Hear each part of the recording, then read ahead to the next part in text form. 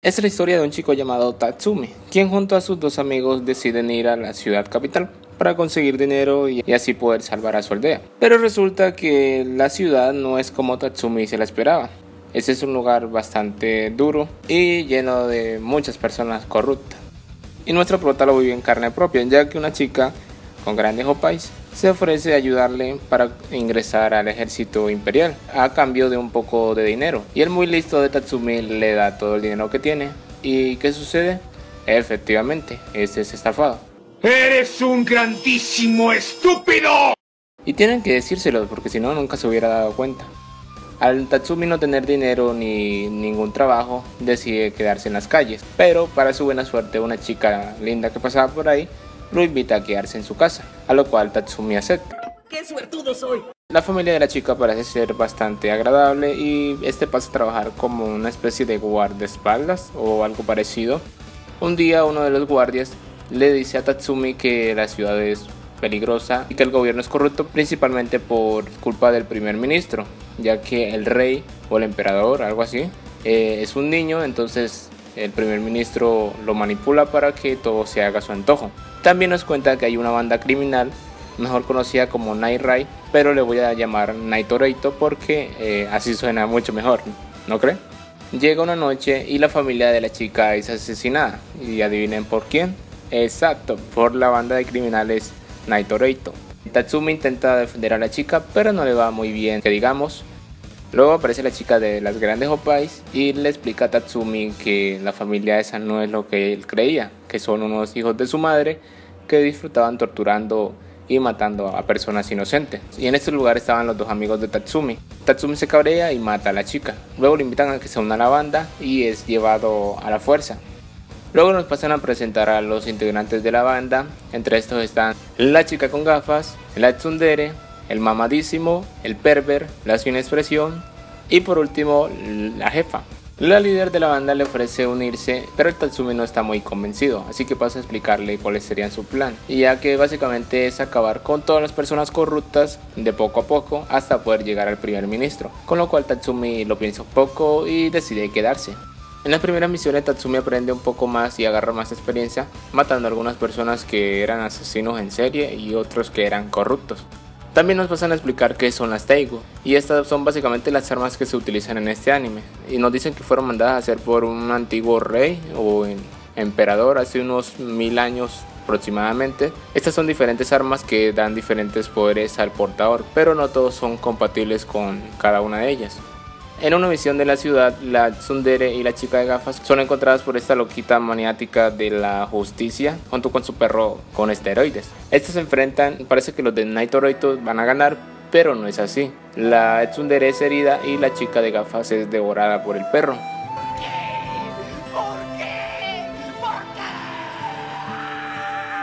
Pero la tsundere logra escapar. En la siguiente mención, el Tatsumi y el mamadísimo se enfrentan a unos tipos llamados las tres bestias. No sé por qué se llamarán así, no sé, tal vez son literal tres bestias, son unos pendejos. En esta misión parece que nuevamente los de Naito Reito están ganando, pero la balanza se inclina a favor de las tres bestias. Y el mamadísimo termina muriendo envenenado por la sangre de un enemigo. Y antes de morir le da su armadura a, a Tatsumi. Y parece que este es compatible con ella y el Tatsumi le da en su madre al trapito. Al final el mamadísimo muere y Tatsumi llora su pérdida. ¿Por qué? ¿Por qué?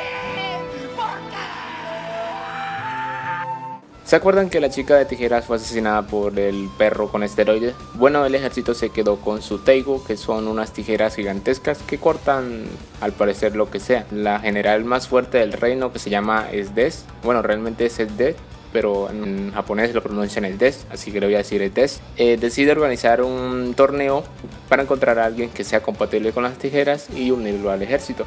Pero también tiene otro motivo, y es encontrar a alguien del cual se pueda enamorar. Tatsumi siente interés por esto y se une para ver si puede recuperar las tijeras. Y adivinen qué pasa. Efectivamente, Esdes es flechada por Tatsumi a primera vista. Ay, el amor. Y esta lo secuestra y se lo lleva a su habitación. ¡Qué suertudo soy! El Tatsumi aprovecha el buff e intenta convencerla de que deje de cometer asesinatos y tantos crímenes y que se una a ellos. Pero Lesdes le dice En el perro no te confundas, a mí me gusta crear caos.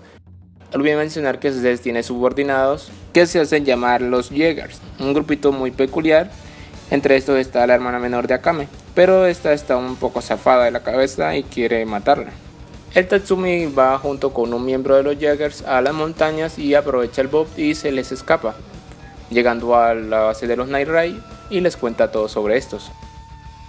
Resulta que uno de los miembros de los Jaggers, un científico loco o un doctor, la verdad no sé, eh, logra rastrear a Tatsumi y encuentra la base de estos. Este se enfrenta a ellos con sus experimentos raros y todos le están dando en la madre a las ratas del laboratorio del doctor, pero después son superados en números. Y cuando ya están en apuros, resulta que la jefa llega con dos nuevos integrantes para el equipo. Y estos se enfrentan a los bichos raros del doctor y logran derrotarlo. Luego el doctor se inyecta no sé qué carajos, parecen esteroides, y se convierte en un gigante. Todos se enfrentan a él eh, y en equipo logran vencerlo. De nuevo en las montañas el Tatsumi es nuevamente atrapado por Sdes y de repente aparece un tipo todo misterioso ahí en las montañas y al parecer el poder de este es teletransportar o, enviar cosas o al mismo a otros sitios y envía a Tatsumi y Sdes a una isla. En esta isla Tatsumi convive con Sdes unos cuantos días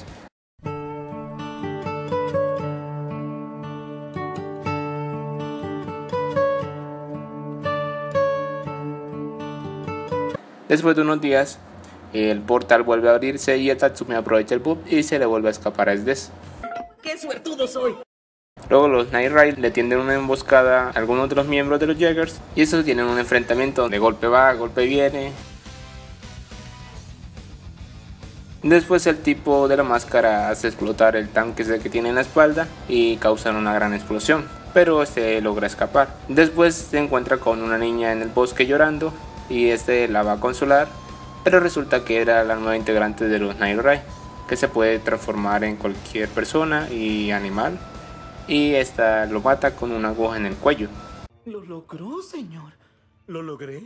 Luego se toma la forma de él y busca a la hermana de Akame. Cuando la hermana de Akame se distrae un poco, ella también aprovecha y le clava una aguja en el cuello, creyendo así que la mató. Pero estaba equivocada resulta que necesitaba más para poder matarla. Y el poder de esta es controlar marionetas que corta con su espada. Entonces envía todas las marionetas que ella tenía y le cortan una mano a la chica, dejándola así sin poder transformarse en cualquier cosa para poder escapar. Después de esto le cortan la cabeza y la exhiben en la plaza de la ciudad, donde más adelante Tatsumi va a investigar y la ve. ¡Ah, no me duele! ¡Me quema! ¡Me lastima! Los Jaggers son enviados para proteger a un tipo ahí, la verdad no sé qué era, no recuerdo. Y los Night resulta que también iban por el mismo objetivo y terminan enfrentándose con unos tales cuatro demonios, no sé qué mamadas más. Pablo Takataka, señor. Akame se enfrenta a un tipo ahí todo extraño, bueno, todos estos son extraños. Eh, después de unos cuantos golpes, Akame logra darle en su madre. El perver se enfrenta a un barbón y a una chica. Eh, parece que el barbón está dando en la madre, pero el perver tiene todo bajo control y logra vencerlo. Con la chica tiene un poquito más de problemas, pero al final también logra vencerla. El Tatsumi y la Tsundere están en las montañas y se topan con la loquita esta del ejército con su perro con esteroides. Tatsumi se enfrenta a uno de los cuatro demonios de yo no sé qué carajos, y pero al final logra derrumbarle toda una edificación encima. Y la Tsundere se enfrenta a la loquilla del perro. Después de unos cuantos disparos, este, logra vencerla, a ella y a su perro. Pero la loquita tiene unas bajo la manga. Y esta es una bomba de autodestrucción. Y dice que si se va a morir, pues se va a llevar a la Tsundere con ella. La Tsundere piensa que no va a alcanzar a salir de ahí con vida. Pero llega Tatsumi y la rescata. Luego podemos ver que aquí algo empieza a florecer entre ellos dos. Ay, el amor. Al final, Rai consiguen su objetivo, que era matar a un sacerdote ahí todo corrupto. Tatsumi y el perve logran infiltrarse en el palacio real, pero todo resulta ser una trampa, creada por el tipo que envió a Tatsumi a a la isla. Luego llega otro tipo ahí que al parecer su poder o su Teigu son lanzar rayos o algo así, no sé la verdad. Tatsumi se enfrenta al tipo de los rayos y el perverso se enfrenta al otro tipo de los portales.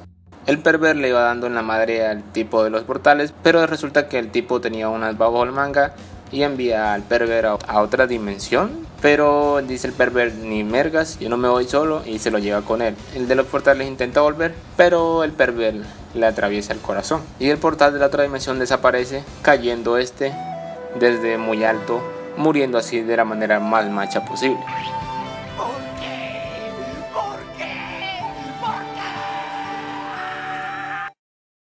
El Tatsumi es sometido por el tipo de los rayos y es capturado. Es encerrado en los calabozos y se decide que su castigo será la ejecución pública.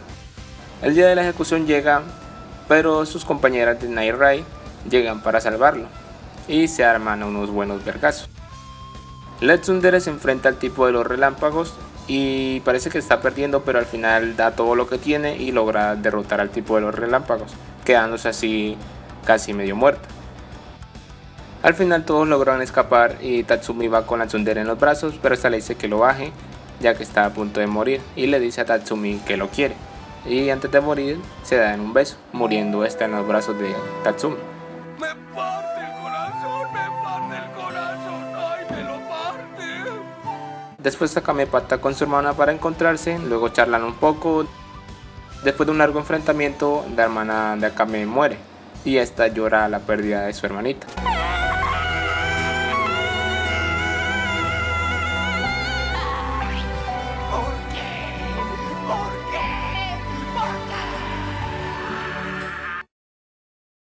Luego los de Night Ride deciden atacar el imperio junto con todos los revolucionarios. Y resulta que en el palacio había una especie de Taigu gigante que parecía un mecha, que es controlada por el niño rey, y empieza a destruir todo lo que se le atraviese. Tatsumi y uno de los miembros de los Jaegers se enfrentan al mecha. Con mucha dificultad Tatsumi logra destruir al mecha, pero este va a caer sobre muchas personas y el Tatsumi se sacrifica para detenerlo. Ese es un verdadero hombre muriendo en las manos de Akame. no me duele! ¡Me quema! ¡Me lastima! ¿Qué, ¿Qué pensaron? ¿Que el protagonista no podía morir? Después de esto llegan los vergazos finales entre Akame y Esdes. Esta última lleva toda la ventaja, pero resulta que Akame tenía una especie de poder, habilidad oculta y logra hacerle frente a Esdes. Esdes tiene un poder como de congelar o parar el tiempo, pero no sé cómo carajos Akame logra librarse de esto y la corta ya saben, conveniencia del guion, me imagino. Y antes de morir, se congela junto con Tatsumi y estos se parten en miles de pedacitos. Ah, me olvidaba del primer ministro, no se preocupen, este recibió su merecido por Leonel, la chica de las opais. Luego Leonel y Akame se despiden, aparentemente todo está bien, pero luego podemos ver a Leonel muriendo sola en un callejón, lo cual la verdad me pareció muy triste. ¡Ay, no me duele! ¡Me quema! ¡Me lastima! Y resulta que de todos los miembros del Night Ride solo quedaron vivos la jefa y Akame. El niño rey es condenado a ejecución y al final logra llegarle algo de dinero a la aldea de Tatsumi. Me imagino que este ya les había enviado antes de morir y estos esperan la llegada de sus tres grandes héroes, cosa que nunca va a pasar. Después Akame se despide de la jefa y aquí termina la historia.